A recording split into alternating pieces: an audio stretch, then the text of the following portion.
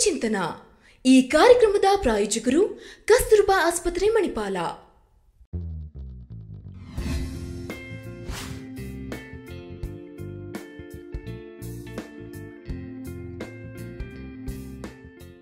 ನಮಸ್ಕಾರ ವೀಕ್ಷಕರೇ. ಕಸ್ತೂರ್ಬಾ ಆಸ್ಪತ್ರೆ ಮಣಿಪಾಲ್ ಅರ್ಪಿಸುವ ಆರೋಗ್ಯ ಚಿಂತನಾ ಕಾರ್ಯಕ್ರಮಕ್ಕೆ ತಮಗೆಲ್ಲರಿಗೂ ಕೂಡ ಪ್ರೀತಿಯ ಸ್ವಾಗತ. ಪ್ರತಿ ವಾರ ನಾವು ಆರೋಗ್ಯಕ್ಕೆ ಸಂಬಂಧಪಟ್ಟಂತೆ ಒಂದೊಂದು ವಿಚಾರಗಳ ಬಗ್ಗೆ ಮಾತನಾಡ್ತಾ ಇದ್ದೇವೆ. ಅದೇ ರೀತಿ ಇವತ್ತಿನ ಸಂಚಿಕೆಯಲ್ಲೂ ಕೂಡ ನಾವು ಒಂದು ಮುಖ್ಯವಾದ ವಿಚಾರದ ಬಗ್ಗೆ ನಿಮಗೆ ಮಾಹಿತಿನ ನೀಡ್ತಾ ಹೋಗ್ತೇವೆ.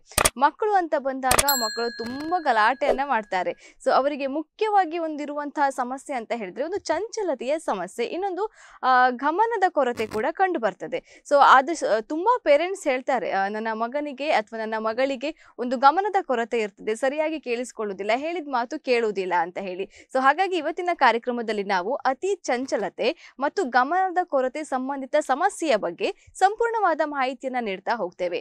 ನಮ್ಮ ಕಾರ್ಯಕ್ರಮದಲ್ಲಿ ಜಾಯ್ನ್ ಆಗಿದ್ದಾರೆ ಸಹಾಯಕ ಪ್ರಾಧ್ಯಾಪಕರು ಹಾಗೆ ಮಕ್ಕಳ ಮನೋವೈದ್ಯರು, ಮನೋವಿಜ್ಞಾನ ವಿಭಾಗದಲ್ಲಿ ಡಾಕ್ಟರ್ ಅಮೃತವರ್ಷಿಣಿ ಆರ್ ಅವರು. ಮೊದಲನಾಗಿ ಅವರನ್ನ ಕಾರ್ಯಕ್ರಮಕ್ಕೆ ಸ್ವಾಗತಿಸ್ತಾ ಇದ್ದೇನೆ. ಡಾಕ್ಟರ್ ಕಾರ್ಯಕ್ರಮಕ್ಕೆ ಸ್ವಾಗತ.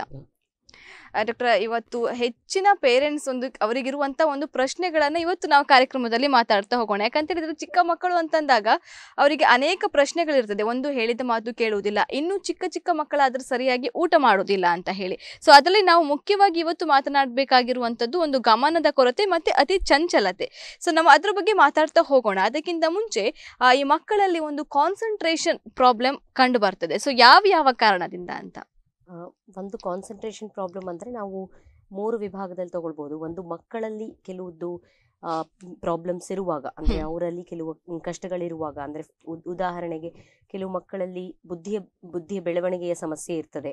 ಅಥವಾ ಕೆಲವೊಮ್ಮೆ ಮಕ್ಕಳಿಗೆ ಬುದ್ಧಿ ಬೆಳವಣಿಗೆ ಚೆನ್ನಾಗಿದ್ರು ಅವರು ತುಂಬಾ ಇಂಟೆಲಿಜೆಂಟ್ ಅಂತ ಏನು ಹೇಳ್ತೇವೆ ಇಂಟೆಲಿಜೆಂಟ್ ಆಗಿದ್ರೂ ಸಹ ಲರ್ನಿಂಗ್ ಪ್ರಾಬ್ಲಮ್ಸ್ ಅಂದರೆ ಕಲೀಲಿಕ್ಕೆ ಒಂದು ಸಮಸ್ಯೆ ಇರ್ತದೆ. ಮತ್ತೆ ಇನ್ನೊಂದು ವಿಚಾರ ಇರಬಹುದು ಮಕ್ಕಳಿಗೆ ಆ, ನಾವು ಎ ಡಿ ಹೆಚ್ ಡಿ ಅಂತ ಕರಿತೇವೆ. Attention deficit hyper activity disorder ಅದ್ರ ಬಗ್ಗೆ ಮುಂದೆ ಮಾತಾಡೋಣ. ಸೊ ಅದರದ್ದು ಒಂದು ತೊಂದರೆಯಿಂದ ಇರಬಹುದು. ಇದು ಮಕ್ಕಳಲ್ಲಿ ಇರೋದು ಇರುವ ಕೆಲವು ಕೊರತೆಗಳಿಂದ ಗಮನದ ಸಮಸ್ಯೆ ಇರಬಹುದು. ಬಟ್ ಆದ್ರೆ ನಾವು ಜಾಸ್ತಿ ನೋಡೋದು ನಮ್ಮ ಕ್ಲಿನಿಕಲ್ಲಿ ಏನ್ ವಿಚಾರ ಅಂತ ಹೇಳಿದ್ರೆ ವಾತಾವರಣದಲ್ಲಿ ಆಗೋ ಮ್, ಬದಲಾವಣೆಗಳಿಂದ.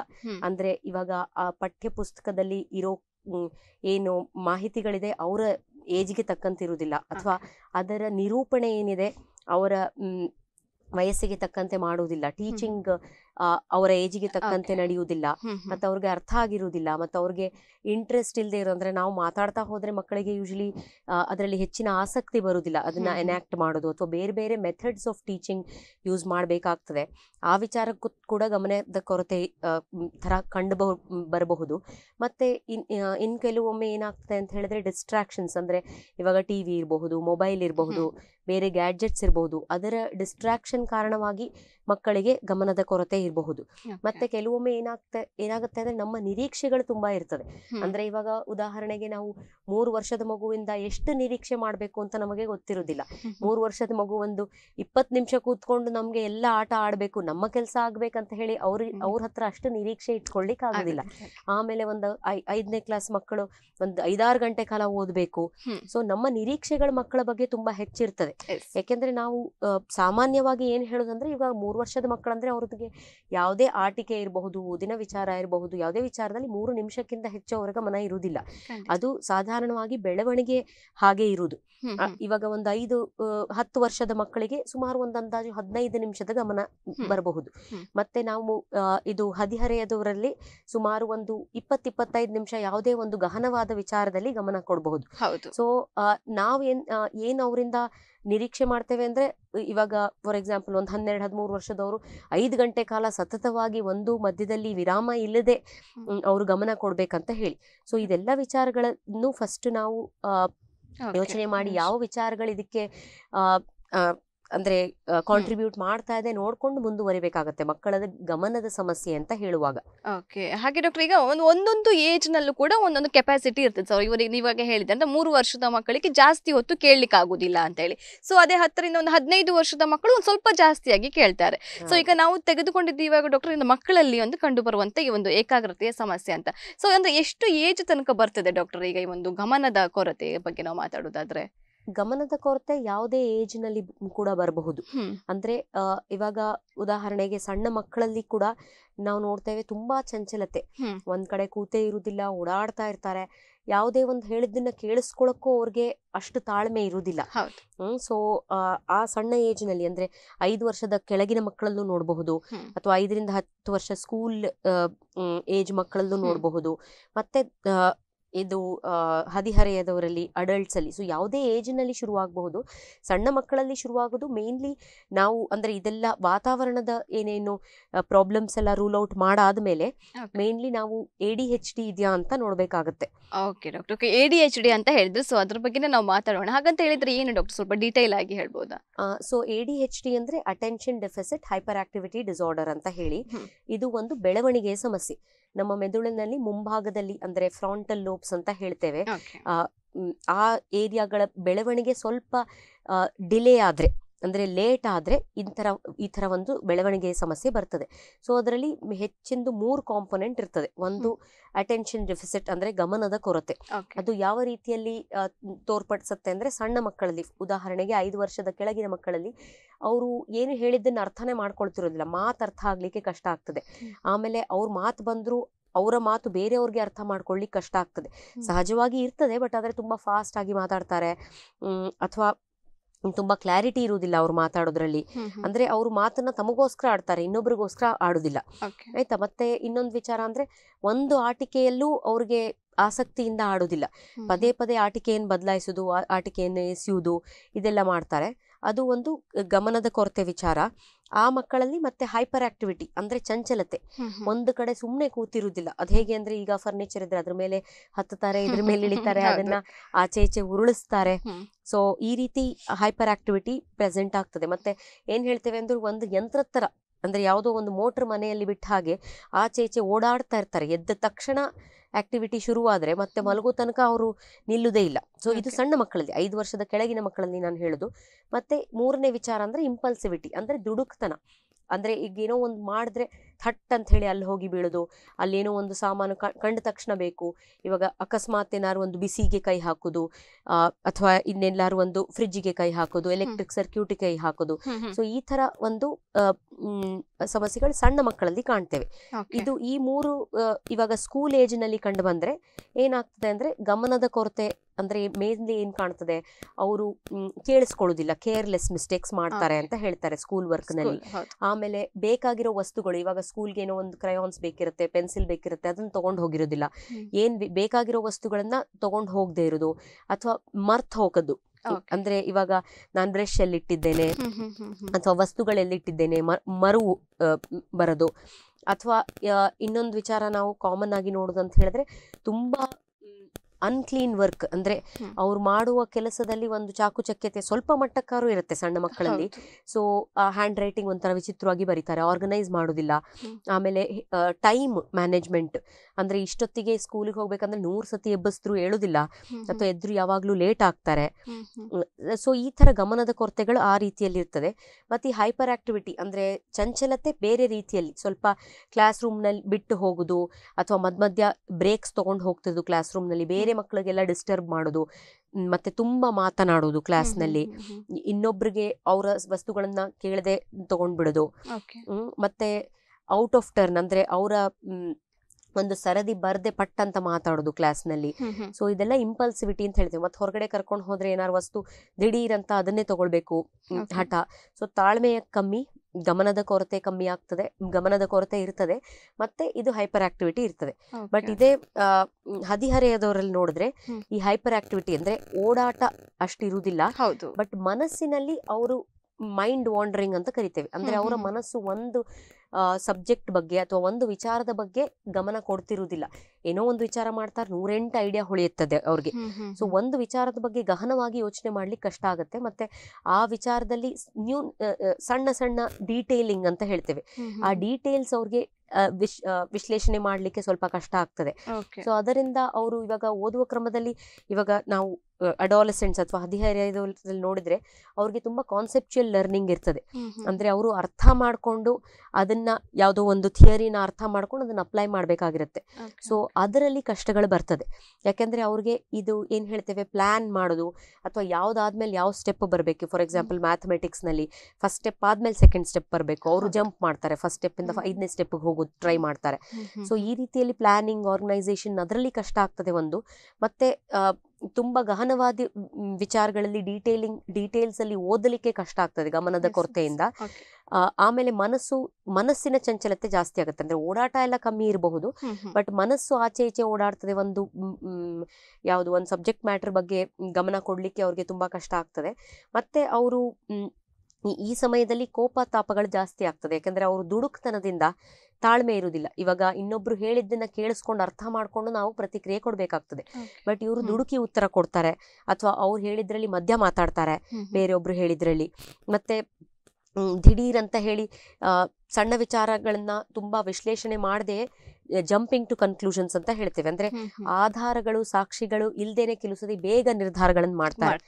ಸೊ ಈ ವಿಚಾರದಿಂದ ದುಡುಕ್ತನ ಮತ್ತೆ ರಿಸ್ಕ್ ಟೇಕಿಂಗ್ ಅಂತ ಹೇಳ್ತೇವೆ. ಫಾರ್. ಎಕ್ಸಾಂಪಲ್ ಈಗ ಹೋಗಿ ಫಾಸ್ಟ್ ಆಗಿ ಗಾಡಿ ಓಡಿಸೋದಿರಬಹುದು ಅಥವಾ ಬೇರೆ ಮಾದಕ ದ್ರವ್ಯಗಳನ್ನು ತಗೊಳ್ಳೋದಿರಬಹುದು ಸೊ ಈ ತರ ರಿಸ್ಕ್ ಟೇಕಿಂಗ್ ಬಿಹೇವಿಯರ್ಸ್ ಕೂಡ ಜಾಸ್ತಿ ಆಗುತ್ತೆ ಹದಿಹರೆಯದವರಲ್ಲಿ ಸೊ ಈ ರೀತಿಯಲ್ಲಿ ಬೇರೆ ಬೇರೆ ವಯಸ್ಸಿನಲ್ಲಿ ಬೇರೆ ಬೇರೆ ತರ ಇದು ಪರಿಣಾಮ ಬೀರ್ತದೆ ಮತ್ತೆ ಸಿಂಪ್ಟಮ್ಸ್ ಯಾವ ರೀತಿಯಲ್ಲಿ ಇರ್ತದೆ? ಸೊ ನೀವು ಇವಾಗಲೇ ಹೇಳಿದ್ರೆ ಎಲ್ಲವೂ ಕೂಡ ಸಿಂಪ್ಟಮ್ಸ್ ಅಲ್ಲಿ ಬರ್ತದ ಬೇರೆ ಏನಾದ್ರೂ ಸಿಂಪ್ಟಮ್ಸ್ ಆಡ್ ಆಗ್ತದ ಅಂತ? ಇಲ್ಲ ಅದೇ ಅದು ಕೋರ್ ಅಂದ್ರೆ ಮೇನ್ ಮೂರು ಮುಖ್ಯವಾದ ವಿಚಾರಗಳಂದ್ರೆ ಒಂದು ಗಮನದ ಕೊರತೆ ಒಂದು ದುಡುಕ್ತನ ಮತ್ತೆ ಒಂದು ಇದು ಚಂಚಲತೆ. ಚಂಚಲತೆ. ಈ ಮೂರು ವಿಚಾರಗಳು ಬೇರೆ ಬೇರೆ ವಯಸ್ಸಿನಲ್ಲಿ ಬೇರೆ ಬೇರೆ ರೂಪ ತಾಳ್ತವೆ ನಾನು ಹೇಳ್ದಂಗೆ. Okay okay doctor. ಹಾಗೆ ಈ ರೋಗ ನಿರ್ಣಯ ತೊಂದರೆಯನ್ನ ಕಂಡುಹಿಡಿಯುವುದು ತುಂಬ ಇಂಪಾರ್ಟೆಂಟ್ ಅಂತ ಹೇಳಿ ಡಾಕ್ಟರ್ ಹೇಗೆ?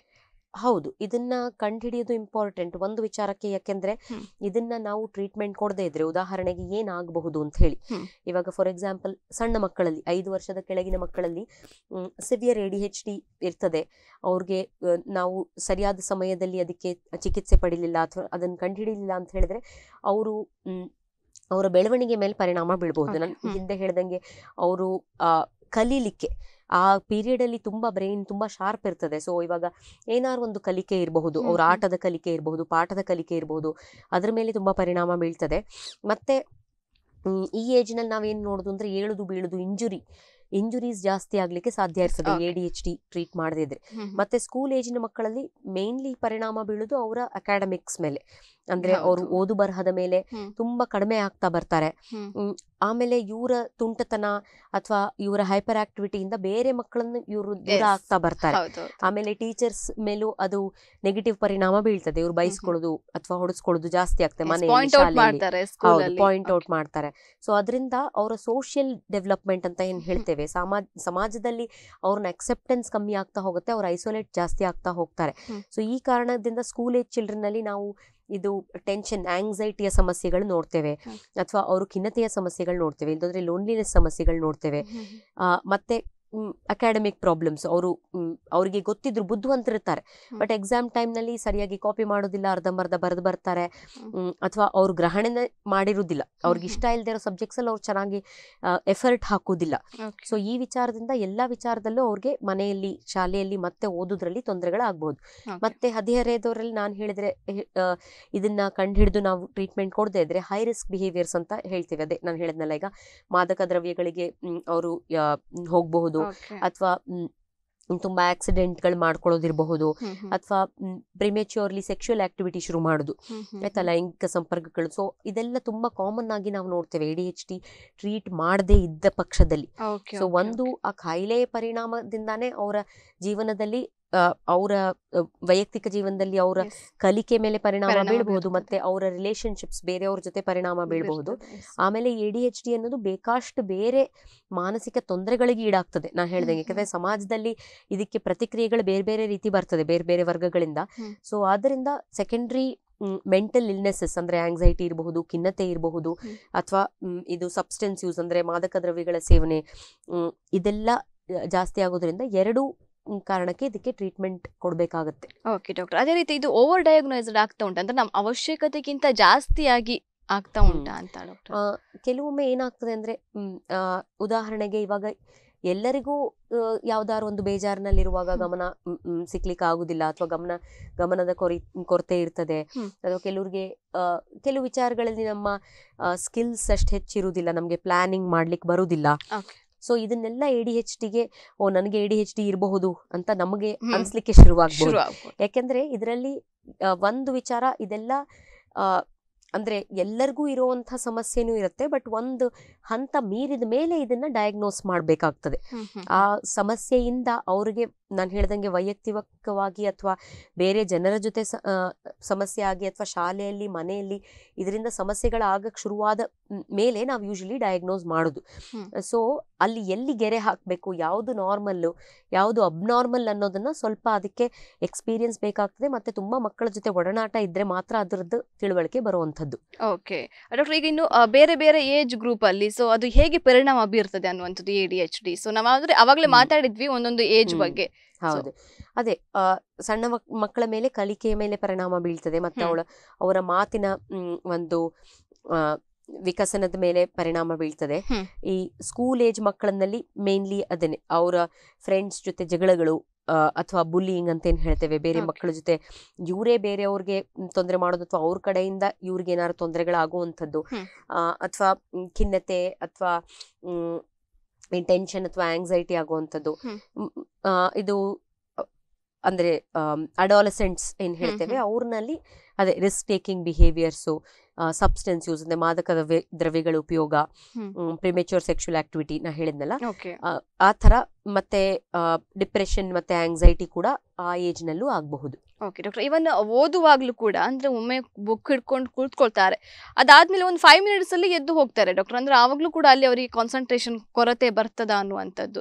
ಮತ್ತೆ. ಅದನ್ನ ನಾವು ಹೇಗೆ ಅವಾಯ್ಡ್ ಮಾಡಬಹುದು ಅನ್ನುವಂಥದ್ದು. ಸೊ ಬರ್ತಾರೆ ಓದ್ತಾರೆ ಮತ್ತೆ ಹೇಳ್ತಾರೆ ಮತ್ತೆ ಬಂದು ಮತ್ತೆ ಒಂದ್ ಸ್ವಲ್ಪ ಓದ್ತಾರೆ. ಅಂದ್ರೆ ಹೈ ಇದು ಏನು ಸ್ಕೂಲ್ಗೆ ಹೋಗೋ ಮಕ್ಕಳಲ್ಲಿ ಇದು ಜಾಸ್ತಿಯಾಗಿ ನಾವು ನೋಡ್ತಾ ಇರ್ತೇವೆ ಡಾಕ್ಟರ್ ಒಂದು ವಿಚಾರ ಎಂತ ಅಂದ್ರೆ ಅವ್ರಿಗೆ ಆದಷ್ಟು ಒಂದು ಅಂದರೆ ಅಂದ್ರೆ ಏನ್ ಎಕ್ಸ್ಪೆಕ್ಟೇಷನ್ ಫಾರ್ ಎಕ್ಸಾಂಪಲ್ ಇವಾಗ ನಾವು ಇಪ್ಪತ್ತು ನಿಮಿಷ ನೀವು ಕೂತು ಇದು ಪಠ್ಯ ಪುಸ್ತಕವನ್ನ ಓದಿ ಮುಗಿಸ್ಬೇಕು. ಅದಾದ ಮೇಲೆ ನಾವು ಈ ತರ ಪ್ರಶ್ನೆಗಳು ಕೇಳ್ತೇವೆ ನಿಮ್ಮನ್ನ. ಆ ಆಮೇಲೆ ಇದಾದ ನಂತರ ನಿಮ್ಗೆ ಏನಾದ್ರು ಒಂದು ರೆಸ್ಟ್ ಸಿಗ್ತದೆ ಅಥವಾ ನಿಮ್ಗೆ ಆಟ ಆಡ್ಲಿಕ್ಕೆ ಅವಕಾಶ ಸಿಗ್ತದೆ. ಸೊ ಈ ರೀತಿ ಹೇಳೋದ್ರಿಂದ ಒಂದು ಸ್ಟ್ರಕ್ಚರ್ ಮಾಡೋದ್ರಿಂದ ಅವ್ರಿಗೆ ಒಂದು ಟೆಂಟೇಟಿವ್ಲಿ ಒಂದು ಪ್ಲಾನ್ ಇರ್ತದೆ ಮನಸ್ಸಿನಲ್ಲಿ ಸೊ ಇಷ್ಟು ನಿಮಿಷ ಅಷ್ಟೇ ನಾನು ಗಮನ ಕೊಡಬೇಕಾಗಿರೋದು ಅಂತ ಹೇಳಿ. ಸೊ ಆ. ತರ ಮಾಡಬಹುದು ಕೆಲವೊಮ್ಮೆ. ಓಕೆ ಡಾಕ್ಟರ್ ಇನ್ನು ಪೇರೆಂಟ್ಸ್ ಮೇಲೆ ಇದು ಹೇಗೆ ಪರಿಣಾಮ ಬೀರ್ತದೆ ಅನ್ನುವಂಥದ್ದು? ಪೇರೆಂಟ್ಸ್ ಮೇಲೆ ಒಂದು ಅದೇ ಈ ತರ ತುಂಬಾ ಚೇಷ್ಟೆ ಮಾಡೋದ್ರಿಂದ ಪೇರೆಂಟ್ಸ್ಗೂ ಅನಿವಾರ್ಯವಾಗಿ ಅವ್ರನ್ನ ಕಂಟ್ರೋಲ್ ಮಾಡ್ಲಿಕ್ಕೆ ಕೆಲವೊಮ್ಮೆ ರೇಗಾಡಬೇಕಾಗ್ತದೆ ಅಥವಾ ಹೊಡಿಬೇಕಾಗ್ತದೆ. ಅವ್ರನ್ನ ನಿಯಂತ್ರಣಕ್ಕೆ ತರಲಿಕ್ಕೆ ಕಷ್ಟ ಆಗ್ತದೆ ಕೆಲವೊಮ್ಮೆ ಸೊ ಆದ್ದರಿಂದ ಏನಾಗ್ತದೆ ಅಂದ್ರೆ ಇದು ಮನೆಯಲ್ಲಿ ಬೆಳಗಿಂದ ಸಂಜೆಯ ತನಕ ಬರೀ ಜಗಳದಲ್ಲೇ ಹೋಗ್ತದೆ. ಅಂದ್ರೆ ನೀನ್ ಅದ್ ಸರಿ ಮಾಡ್ಲಿಲ್ಲ ಇದ್ ಸರಿ ಮಾಡ್ಲಿಲ್ಲ ಇಲ್ಲಿ ಗಮನ ಕೊಡ್ಲಿಲ್ಲ ಅಥವಾ ಕೂತ್ಕೊಳ್ಳಿಲ್ಲ ಅಂತ ಹೇಳಿ. ಸೊ ಈ ಯಾವ ಪಾಸಿಟಿವ್ ರೀಇನ್ಫೋರ್ಸ್ಮೆಂಟ್ ಅಂದ್ರೆ ಏನು ಹೇಳ್ತೇವೆ? ಅವ್ರಿಗೆ ಘನಾತ್ಮಕವಾಗಿ ಏನಾದ್ರು ಒಂದು ಅಪ್ರಿಷಿಯೇಟ್ ಮಾಡೋದಾಗ್ಲಿ ಅವರ ಜೊತೆ ಟೈಮ್ ಒಳ್ಳೆ ರೀತಿಯಲ್ಲಿ ಸ್ಪೆಂಡ್ ಮಾಡೋದಾಗಲಿ ಇದ್ರ ಕೊರತೆ ಆಗ್- ಆಗೋದ್ರಿಂದ ಇವರ ಮಧ್ಯದಲ್ಲಿ ಜಗಳಗಳು ಮನಸ್ತಾಪಗಳು ಎಲ್ಲ ಜಾಸ್ತಿ ಆಗ್ಲಿಕ್ಕೆ ಶುರುವಾಗ್ತದೆ.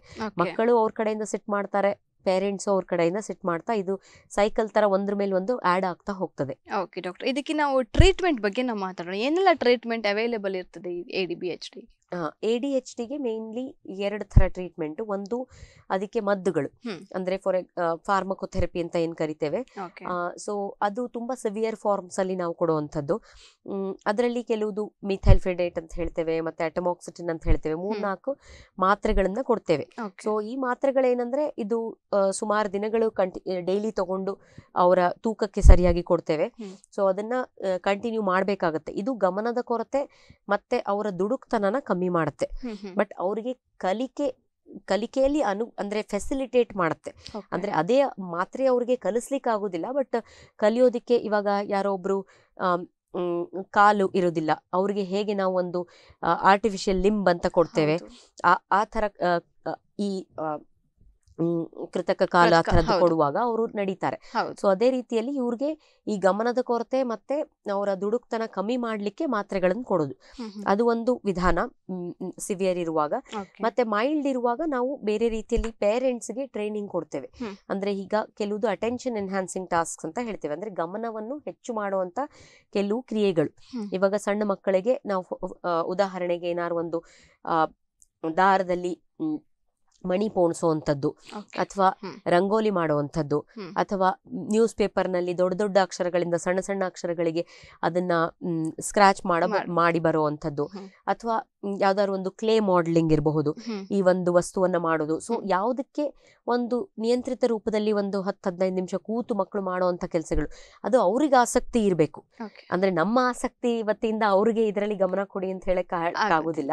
ಸೊ ಅವ್ರಿಗೆ ಏನ್ ಆಸಕ್ತಿ ಇದೆ. ಇಲ್ದ ಇಲ್ದೆ ಹೋದ್ರೆ ಬೋರ್ಡ್ ಗೇಮ್ಸ್ ಇರಬಹುದು ಹ್ಮ್. ಈಗ for example snake and ladder ಅಥವಾ ಇನ್ಯಾವ್ದಾರು ಒಂದು ಲೂಡೋ. ಸೊ ಇಂಥದ್ದೆಲ್ಲ ಅವ್ರಿಗೆ ಏನು ಆಸಕ್ತಿ ಇದೆ? ಕೆಲವು ಮಕ್ಕಳಿಗೆ ಇಂಡೋರ್ ಗೇಮ್ಸ್ ಅಂದ್ರೆ ಒಳಗೆ ಆಡುವಂಥ ಆಟಗಳು ಇಷ್ಟ ಇರೋದಿಲ್ಲ. ಹೊರಗೆ ಆಡಿಸುವಂಥದ್ದು. ಉದಾಹರಣೆಗೆ ಏನಾದ್ರು ಒಂದು ಸ್ವಿಂಗ್ ಇರಬಹುದು ಬ್ಯಾಟ್ ಅಂಡ್ ಬಾಲ್ ಇರಬಹುದು. ಅದರಲ್ಲೂ ಒಂದು ಚೌಕಟ್ಟಿನಲ್ಲಿ ಒಂದು ರೂಲ್ಸ್ ಹಾಕಿ ಆಡಿಸಿದ್ರೆ ಸ್ವಲ್ಪ ಅವ್ರದ್ದು ಇದೆಲ್ಲ ಅಟೆನ್ಷನ್ ಎನ್ಹ್ಯಾನ್ಸಿಂಗ್ ಟಾಸ್ಕ್ ಅಂತ ಹೇಳ್ತೇವೆ. ಅಂದ್ರೆ ಗಮನವನ್ನು ಹೆಚ್ಚಳ ಮಾಡುವಂಥದ್ದು ಒಂದು ಕ್ರಿಯೆಗಳನ್ನ ಮನೆಯಲ್ಲಿ ಅವರು ನೋಡ್ಬೋದು. ಇದು ಸಣ್ಣ ಮಕ್ಕಳಿಗೆ ಐದು ವರ್ಷದ ಕೆಳಗಿನ ಮಕ್ಕಳಿಗೆ ಕೆಲವು ಸತಿ ನಾವು ಹೇಳುವಂಥದ್ದು. ಅದಾದ್ಮೇಲೆ ಮೇನ್ಲಿ ಪ್ರಾಬ್ಲಮ್ಸ್ ಬರೋದು ನಾನು ಹೇಳದಂದ್ರೆ ಇವರು ದುಡುಕ್ತನದಿಂದ. ದುಡುಕ್ತನದಿಂದ ಹೇಗೆ ಇನ್ನೊಬ್ಬರ ಜೊತೆ ಮಾತಾಡಬೇಕು ಅಥವಾ ಅವ್ರ ಜೊತೆ ಹೇಗೆ ವರ್ತಿಸ್ಬೇಕು ಅಂತ ಮಕ್ಕಳಿಗೆ ಅಷ್ಟು ಅಂದಾಜಿರುವುದಿಲ್ಲ ಈ ಮಕ್ಕಳಿಗೆ. ಹೌದು. ಯಾಕೆಂದ್ರೆ ಅವರ ದೃಷ್ಟಿಯಲ್ಲೇ ಒಂದು ಯೋಚನೆ ಮಾಡ್ತಿರ್ತಾರೆ ಮತ್ತೆ ದುಡುಕ್ತನದ ಕಾರಣದಿಂದ ಹಿಂದೆ ಮುಂದೆ ಯೋಚನೆ ಮಾಡದೆ ಮಾತಾಡ್ತಾರೆ. ಸೊ ಆ ಕಾರಣದಲ್ಲಿ ಪೇರೆಂಟ್ಸ್ಗೆ ಏನ್ ಟ್ರೈನಿಂಗ್ ಕೊಡ್ತೇವೆ ಅಂತ ಹೇಳಿದ್ರೆ ಹೇಗೆ ಇದು ತಂಟೆ ತೀಟೆಗೆ ಮುಂದೆ ಅವ್ರ ಜೊತೆ ಜಗಳಗಳಿಗೆಲ್ಲ ಈಡಾಗ್ತದೆ. ಸೊ ಆ ಕಾರಣದಿಂದ ಅವ್ರಿಗೆ ಹೇಗೆ ಪಾಸಿಟಿವ್ ವಿಚಾರಗಳನ್ನ ಅವ್ರ ಅಂದ್ರೆ ಫಾರ್ ಎಕ್ಸಾಂಪಲ್ ಅವರು ಒಳ್ಳೆ ಕೆಲಸಗಳು ಮಾಡುವಾಗ ಅವ್ರಿಗೆ ಹೇಗೆ ಅಪ್ರಿಷಿಯೇಟ್ ಮಾಡೋದು ಪ್ರೇಸ್ ಮಾಡೋದು ಅಂತ. ಒಂದು ಹೇಳಿಕೊಡ್ತೇವೆ. ಮತ್ತೆ ನೆಕ್ಸ್ಟ್ ಹೇಳಿಕೊಡ್ತೇವೆ ಅವ್ರಿಗೆ ಹೆಂಗೆ ಲಿಮಿಟ್ ಸೆಟ್ ಮಾಡೋದು ಅಂದ್ರೆ ರೂಲ್ಸ್ ಹೇಗಿರ್ಬೇಕು ಮನೆಯಲ್ಲಿ ಸ್ಟ್ರಿಕ್ಟ್ ಆಗಿರ್ಬೇಕು ಅಂತ ಹೇಳಿ ಮತ್ತೆ ಅವರು ಮನೆಯಲ್ಲಿ ಒಂದು ಸ್ಟ್ರಕ್ಚರ್ಡ್ ಎನ್ವಿರಾನ್ಮೆಂಟ್ ಅಂತ ಹೇಳ್ತೇವೆ. ಅಂದ್ರೆ ಒಂದು ಟೈಮ್ ಟೇಬಲ್ ತರ ಒಂದು ರೊಟೀನ್ ಸೆಟ್ ಮಾಡೋದು ಅವ್ರಿಗೆ. ಇದ ಈ ಕೆಲಸ ಆದಮೇಲೆ ಈ ಕೆಲಸ. ಸೊ ಈ ಮಕ್ಕಳಿಗೆ ಏನಂದ್ರೆ ಅವ್ರಿಗೆ ಪ್ಲಾನಿಂಗ್ ಬರುವುದಿಲ್ಲ. ಯಾವಾಗ ಏನ್ ಮಾಡ್ಬೇಕು ಅಂತ ತಿಳಿಯುವುದಿಲ್ಲ ಮತ್ತೆ ಮನಸ್ಸು ಬ್ಲಾಂಕ್ ಆಗಿರುವಾಗ ಅವ್ರ ಚಂಚಲತೆ ಜಾಸ್ತಿ ಜಾಸ್ತಿ ಆಗ್ತದೆ.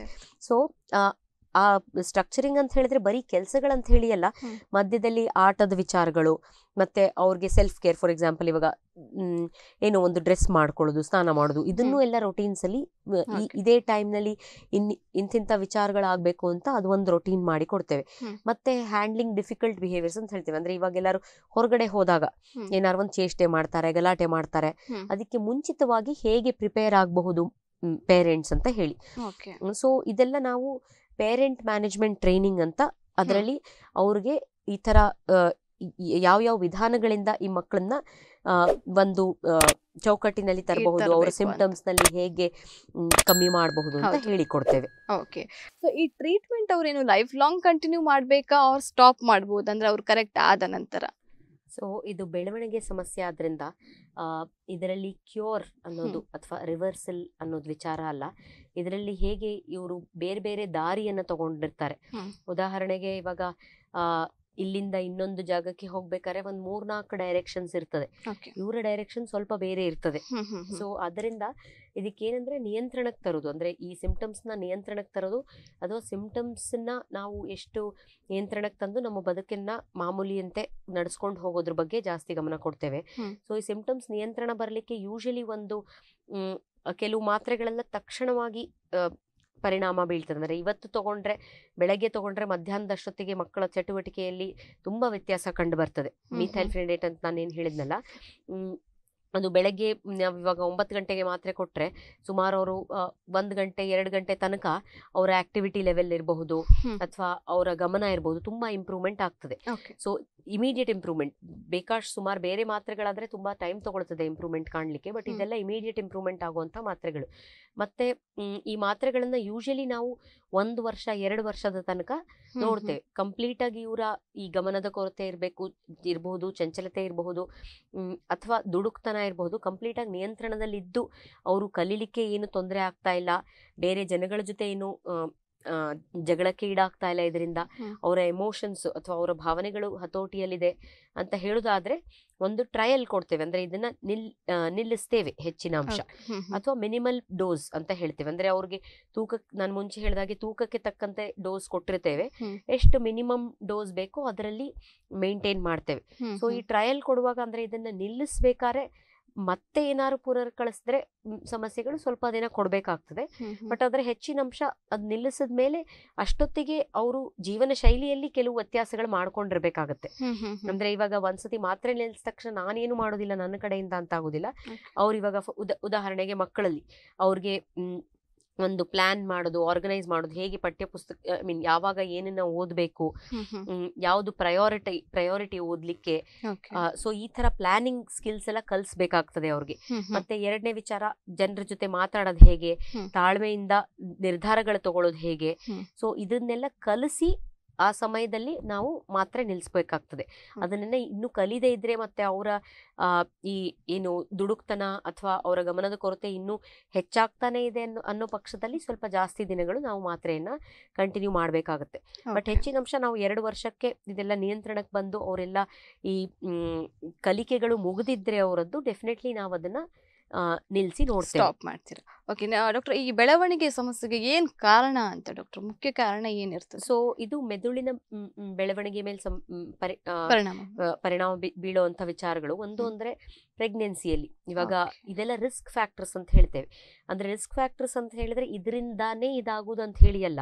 ಈ ಒಂದು ಫ್ಯಾಕ್ಟರ್ ಇದ್ರೆ. ಇದರಿಂದ ಆಗುವ ಚಾನ್ಸಸ್ ಜಾಸ್ತಿ. ಇರ್ತದೆ ಅಂತ. ಹೇಳಿ ಸೊ ಒಂದು ಪ್ರೆಗ್ನೆನ್ಸಿಯಲ್ಲಿ ಅನೀಮಿಯಾ ಇರಬಹುದು ಅಂದ್ರೆ ರಕ್- ರಕ್ತ ಕಮ್ಮಿ ಇರುವುದಿರಬಹುದು.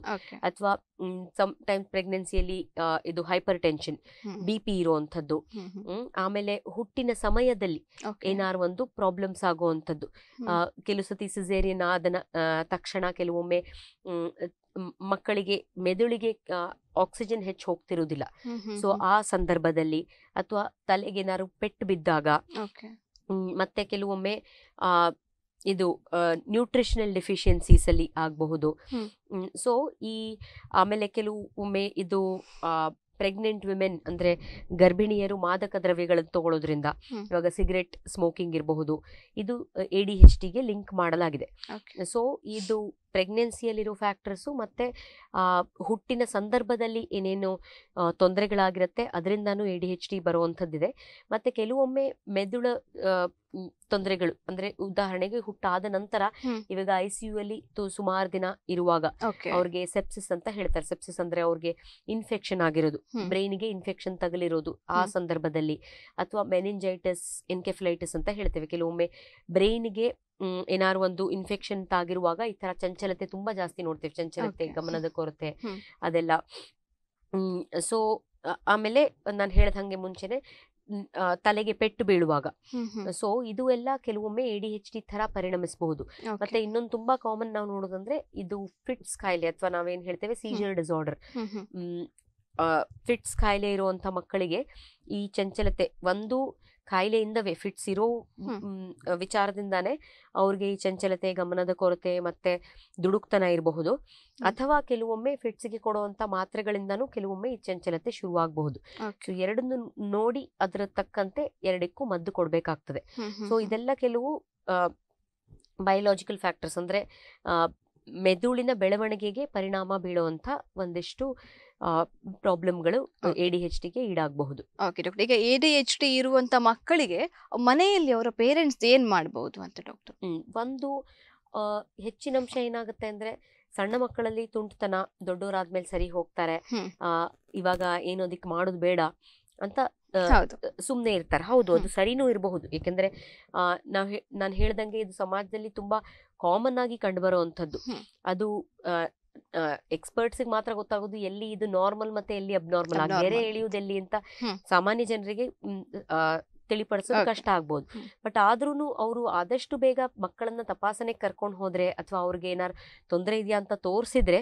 ಯಾರು ಎಕ್ಸ್ಪರ್ಟ್ ಹತ್ರ ಸೈಕ್ಯಾಟ್ರಿಸ್ಟ್ ಇರಬಹುದು ಸೈಕಾಲಜಿಸ್ಟ್ ಇರಬಹುದು ಅಥವಾ ಚೈಲ್ಡ್ ಸೈಕ್ಯಾಟ್ರಿಸ್ಟ್ ಇರಬಹುದು. ಇವ್ರ ಹತ್ರ ಕರ್ಕೊಂಡು ಹೋದ್ರೆ ಅವ್ರಿಗೆ ಒಂದು ಮಾಹಿತಿ ಸಿಗತ್ತೆ. ಎಲ್ಲರನ್ನು ನಾವು ಕಂಡವ್ರನ್ನೆಲ್ಲ ಡಯಾಗ್ನೋಸಿಸ್ ಮಾಡೋದಿಲ್ಲ ಹೆಚ್ಚಿನ ಅಂಶ. ಅಂದ್ರೆ ಈಗ ಮಕ್ಕಳನ್ನ ಕೆಲವು ಏನೇನೋ ಕನ್ಸರ್ನ್ಸ್ ಅಂತ ಕರ್ಕೊಂಡು ಬರ್ತಾರೆ ನಮಗೆ ಇದು ಕಾಯಿಲೆಯ ಮಟ್ಟ ತಲುಪಿದೆ ಅಥವಾ ಇದು ನಾರ್ಮಲ್ ಅಲ್ಲ ಇದು ತುಂಬಾ ಜಾಸ್ತಿ ಇದೆ ನಾರ್ಮಲ್ಗಿಂತ ಅನ್ನುವಾಗ ಮಾತ್ರ ಡಯಾಗ್ನೋಸಿಸ್ ಮಾಡುದು.